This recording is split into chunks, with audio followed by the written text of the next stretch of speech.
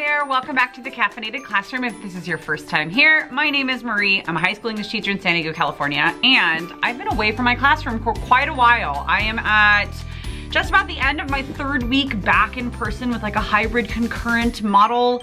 And to take little brain breaks and get away from a screen for a little while during class, I've been going through my storage. So I have with me one of my boxes of an activity that I made up last year. It's an awesome introduction to a Shakespeare tragedy because they're always kind of shrouded in mystery and it's like a whodunit, especially the tragedy of Hamlet.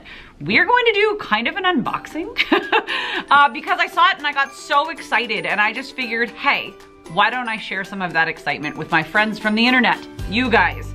So we're gonna go through this. I'm gonna explain exactly all of the things that I do with this activity and why it is my students' favorite thing we do in my senior literature course. It is the thing that they always say, oh my gosh, Hamlet Murder Mystery Party was so cool. And it set the tone for an awesome unit looking at Shakespeare.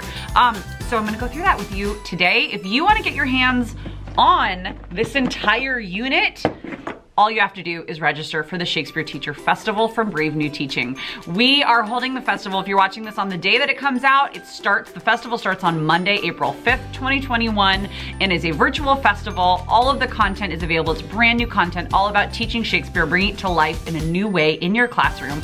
Uh, every day next week, we'll have five days of content, and then through the 10th, you will have free access to all of the content there. And you can download this entire activity after I go through all of it with you. So head to the description box down below or the blog post for this video and you'll be able to get your hands on that and some pretty stinking good Shakespeare strategy and, and uh, instruction strategy and curriculum ideas.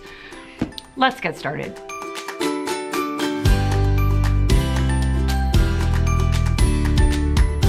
All right, here we go. I'm super excited. I was going through, I have all of these like you know, these scrapbooking boxes that are in one of the shelves behind me. And they have uh, activities that are like resource heavy. They have a lot of stuff. I mean, I teach high school English, so not everything we do has a lot of recycled and recyclable elements to it, mm, but it could and it should. It's not quite like an elementary classroom, right? Where we have all like seasonal and like topical stuff. A lot of that has to do with like text and paper that students actually use and then we give back, right? So I've started my own little way of organizing things. This one has a big old H on it. Let's open it up and see what this stinker holds. So the unit that I, oh no, my box is broken. Oh no, poor box. And I need to tape that or something because these stinkers are not cheap. I got this one on sale, maybe that's why. So I'm gonna kind of organize this so I can go through it with you, but the actual activity is a murder mystery party that is our introductory activity to studying the play Hamlet. If you missed the episode of the Brave New Teaching podcast where I talked through uh, the entire unit, I teach two plays in a matter of three or four weeks, depending on like where we're at with uh, timing and bell schedule.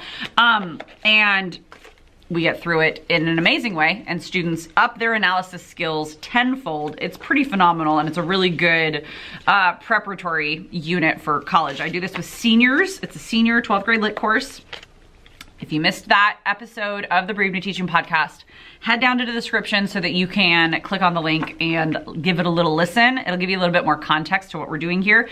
But this activity is the very first day in that entire unit. And what we do is we take the premise of Hamlet and we take a little bit of liberties.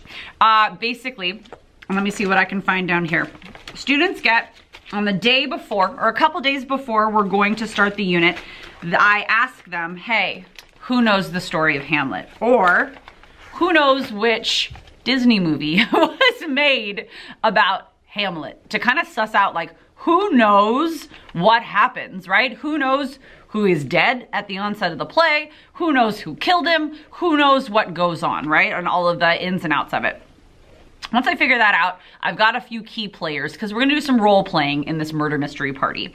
And once I talk to those key players individually and I say, hey, you're gonna take a very specific role. So tomorrow or you know whatever the day is in class, everybody else is gonna be stuck out in the hallway, but I'm gonna bring you in first and you're gonna get your role and we're gonna explain some things. It's super fun and it just builds hype because other students see us like whispering and they're like, what are you guys doing? And I'm like, don't worry about it. Don't worry about it. You'll know when you need to know. Then, day or two before, normally the day before, I hand out these little invitation strips. Let's see if I can get that stinker too. There you go. I know it's backwards for you, but I just typed these up in like PowerPoint. Thou art cordially invited to a royal ball in honor of the visiting King Edward IV of England, where Elsinore Castle, naturally. And then the last time I did this, or when this one was printed anyways, was 17th September 2019. Ah, it was a good year. At 1302 sharp. So that's when the class period started. Hand those out. When students are ready to come in for the day of the actual party, I do like a mini classroom transformation. You guys have seen my, uh, my classroom has changed because we're now on like a concurrent hybrid, but hopefully it'll be going back to the way it was. Some of my classroom tours, I have big tables. They're normally set up in like a communal table style where they're long tables. And let's all remember that I teach in Southern California where I have upwards of the lower to mid 40s sometimes in my class. I'm lucky if it's 38. 38 is like a wicked small class in my in my life. so just know that everything I'm about to tell you, I'm taking liberties to make sure that everybody can participate who's in my class. Um, I set up just some like tablecloths a couple of fake skulls that I get on clearance from the dollar store after Halloween, put them around, and I put like medieval lute music going on in the background, and there is a slideshow that's like, welcome to the ball. And um, I take some liberties in that. We're looking at um, Edward the Fourth, the history play, Edward the Fourth. Sorry, I had to like really think about that for a minute because I've just had a very long day of concurrent teaching. And the premise is that uh, the crown family at Elsinore is inviting Edward and his court over and so that gives me more characters to work with. So I take the I took the cast of characters from Hamlet, the cast of characters from Edward IV, and then I filled in with a whole lot of extras.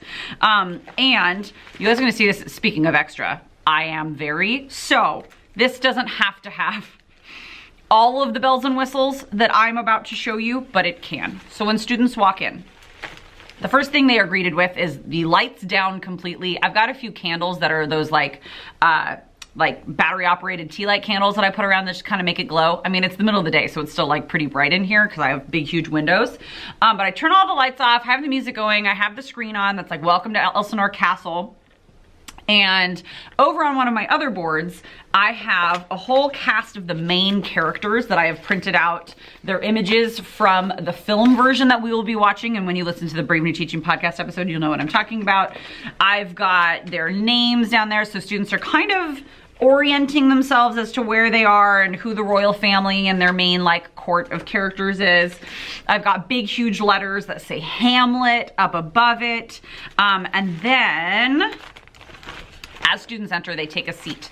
At each seat, I'm all tangled, is one of these little lanyards. But it doesn't have to be a lanyard. Like I've done it before where I just punched a hole in the card. In fact, let me just show you down here what the cards look like. It's just, here. Here, Osric, you know, he's he does a whole lot of nothing but talks. It'll have the character's name on one side and on the back side, it'll have a description. Let's see if I can get that to focus for you. This one's Martha. I made her up. A little description of who the character is and every character has a secret. I just made these up one day. Like I said, you can get this whole thing for free. Download it and go register for the Shakespeare Teacher Festival. I want people to have as much fun as I have and as my students have. Um, and it's a super text dependent activity too, so you'll see in a minute. So Martha is a maid in Elsinore Castle. She's responsible uh, for tending to the lodgings of any and all guests of the king. Her secret to keep is that Martha overhears a plot to assassinate King Hamlet. Dun dun dun. So students all get a different role Claudius, uh, King Hamlet, Prince Hamlet, Gertrude. Those are the ones that I'll give to students that already know the plot so that they can kind of screw with their classmates. Fortinbras is invited, believe it or not, and because he, he's, uh, you know, the Prince of Norway who wants to come and like blow everything up. Um, but he comes, and his secret is Fortinbras wants to attack Denmark to avenge his father's death. So we've got all these secrets to keep. students are instructed with a little card that either I can stand up and say or I can have one of like a town crier. Welcome friends and family to the crown, uh, uh, to the crown of Denmark. Welcome. Please take time now to meet and make note of your fellow party guests in your ledger. I'll show you the ledger. Each person has a unique connection, and this is what's up on the board, and then is also like read when like class the party starts. Uh, each person has a unique connection to the hosts, the king and queen of Denmark, or the guests of honor, the king and queen of England. Mingle, converse, and remember one thing. Each and every person here has a secret to keep. Enjoy. Dun dun dun. So that gets them going. They're supposed to talk to each other. The music turns on and students have a note sheet that they can carry around with them. It's normally a double-sided card. On one side of the card is their party notes. And the party notes, as you mingle with other party guests, jot down the names of any particularly suspicious characters, include why they strike you as suspicious. And then there's a formal accusation, which they'll do at the very end of the party, where they accuse somebody of the murder. So we do a few rounds of mingling. We make note, did anybody see anything interesting? Oh, is there anybody that you found interesting? They start to form alliances. I let them mingle for a few minutes. I stop them, I have them take note of what's around them or write down any notes that they're forgetting. I let them mingle again and I just kind of feel out how the party is going and how the students are working. Um, and then at a certain point in the party, there are these clue cards that have been placed all around. And the clues contain chunks of text. Some of them are red herrings and some of them directly tell them who killed King Hamlet. Oh, I forgot to tell you. After they mingle a couple of times, I, I yell out, murder! Our dutiful ruler of Denmark, King, King Hamlet, has been found dead, and now it's become a murder mystery. Oh, my lights are changing. So they mingle a bit, stop them, take notes. Mingle a bit more, stop, take notes. Murder! The king's been killed. He just took a step outside and then a serpent point poison in his ear underneath his favorite tree because everyone sits under a tree. Um, then they start to really take note of all of these clue cards that are around the room, using the text to, and what they have gained from talking to other party guests to kind of figure out what they think happened. After this goes on, however long you want it to go on, I just, once again, feel out the room. Let me see what else I can show you that's in here. Oh, I just have, I, when I had multiple class periods, I had to color code my uh, invitations.